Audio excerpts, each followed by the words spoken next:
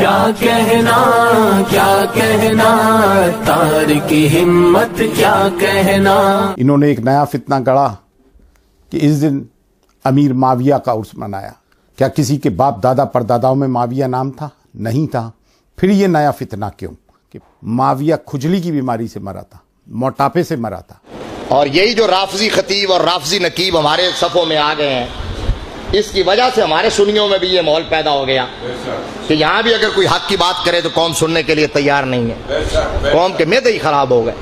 یا ہضم کرنے کے لیے تیار نہیں ہے۔ جو یہ کہہ دے کہ حضرت میرے معاویہ کو بھونکو نہ کیونکہ صحابی رسول ہے سمجھ آئیے نا؟ ہمارے لوگ کہتے ہو دیکھو جی کڈی وڈی گل کر دیتی ہے۔ میرے معاویہ مولا علی دے مقابلے کھڑے سن۔ تو میں کہ میرے معاویہ مولا علی دے مقابلے کھڑے سن امام حسن نہیں پتا سی جنہاں نے انہاں دی بیعت کیتی ہے۔ امیر معاویہ مولا علی دے مقابلے کھڑے سن، امام حسین نو نہیں پتا سی جڑے انہاں دے جا کے شاہی مہمان بندے سن۔ جڑے انہاں کول تحفے وصول کردے سن۔ اچھا امام امیر معاویہ مولا علی دے مقابلے کھڑے سن، خود مولا علی نو نہیں پتا سی جنہاں نے کیا قتلانا و قتلاؤں فی الجنہ۔ فرمایا، جڑے ساڈے اللہ شہید ہوئے نے، یا دو اللہ انہاں اللہ شہید ہوئے نے، وہ دوویں جنتی نے۔ میرے نبی نے نہیں پتا سی، میرے نبی نے تو پہلے دس دیتا سی۔ پہلے دسیا سی کہ تیرا تیرا مار کا ہوئے گا۔ امام علی مقام نو بھی دسیا سی، ٹاکرا ہوئے گا کربلا چ۔ سارا کچھ تو میرے نبی نے پہلے دسیا سی۔ دسدیا ہوا جاندے ہوا بھی نبی نے انہوں نے مشیرہ نال نکاح کر لیا۔ بد وقتو ہوش سے نہ کھل لو نہ اپنا ایمان خراب کرو، نہ دوسروں کا ایمان خراب کرو۔ ہمارے دل میں یزید کے لیے کوئی نرم گوشہ نہیں ہے۔ لیکن ہم نبی کے صحابی کی توہین کسی کی برداشت نہیں کر سکتے۔ اللہ کی قسم ہے۔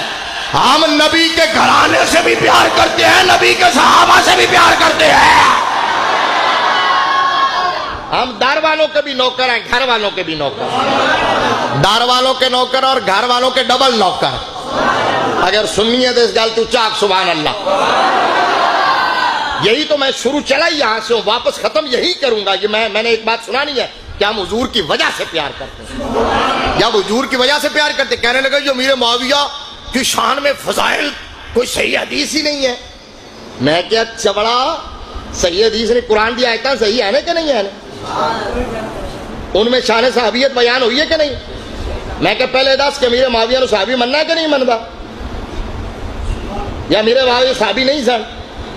میں کہ میں حوالہ لیا کے دکھانا کہ ماد اللہ صحابیت تو نکل گئے۔ اسلام تو نکل گیا۔ اگر وہ صحابی نے اگر وہ صحابی تھے، صحابی رہے، خاتمہ ان پر ایمان، ان کا ایمان پر ہوا اور کوئی دلیل تیرے پاس نہیں ہے کہ وہ صحابیت سے خارج ہوئے، تو میں نے کہا قرآن کی وہ ساری آیتیں جو صحابہ کی شان کو بیان کر رہی ہے وہ امیر معاویہ کی شان کو بھی بیان کر رہی ہے